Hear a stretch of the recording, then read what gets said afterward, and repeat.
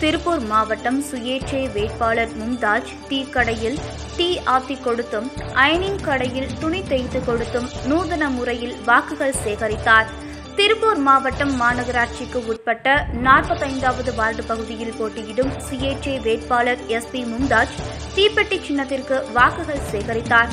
அப்பகுதியில் உள்ள டீ கடையில் டீ ஆற்றி கொடுத்தும் அயனிங் கடையில் துணி தேய்த்து கொடுத்தும் வாக்கு சேகரிப்பில் ஈடுபட்டார்.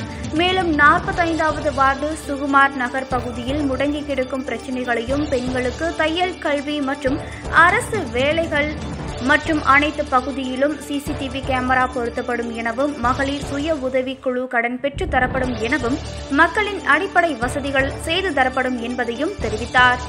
திருப்பூர் மாவட்ட செய்தியாளர் முகமது கவுஸ்.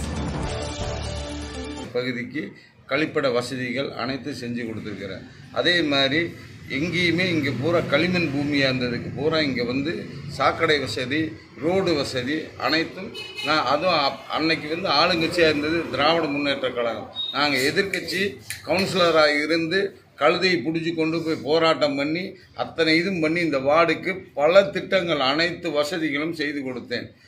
கடந்த இது போன்று உங்களை சுற்றி நடக்கும் செய்திகளை நீங்கள் தெரிந்து கொள்ள சப்ஸ்கிரைப் செய்து பெல் ஐகானை கிளிக் செய்து எங்களோடு பயணியுங்கள். மறக்காமல் லைக் ஷேர் கமெண்ட் செய்யுங்கள்.